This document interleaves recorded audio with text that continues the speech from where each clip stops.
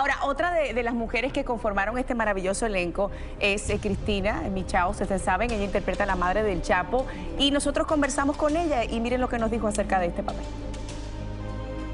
Como madre también sentí el, dolor que puede sentir toda mujer mexicana, toda mujer latina que está inmersa en este momento eh, de guerra, de desastre, de eh, corrupción del tejido social que estamos viviendo, que es una corrupción del tejido social sin precedentes en Latinoamérica.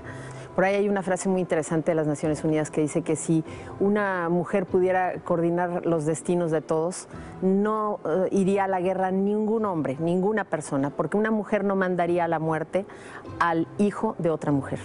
Y eso yo creo que es algo que tenemos que tener muy en cuenta. Por supuesto que todo el dolor, las lágrimas que esta humilde actriz derrama en la serie, eh, son motivadas por el estado en el que está no solamente mi país, sino muchos lugares en los que hay este sentimiento de pérdida de los hijos por una situación tremendamente injusta y llena de falta de oportunidades. Así que son muy de, de veras esas lagrimitas.